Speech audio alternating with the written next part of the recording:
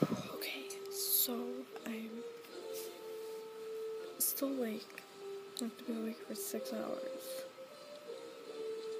Mm, I think I'm having mood swings because of how tired I am. Because you just saw me crying. And now I'm okay. Better. But let me freaking tell you, my head itches like there's no tomorrow. And I can't do anything about it because when I itch it, the stupid cast things come off.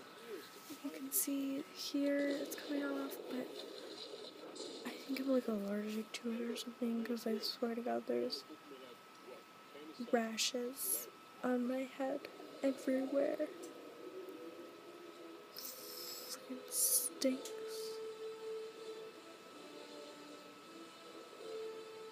I'm so bored. And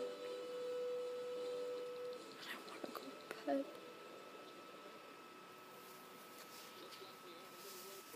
And that's it. That's all I wanted to say. Just wanted to vent about my itchy head. Though I know nobody watches my YouTube videos really, besides like one person.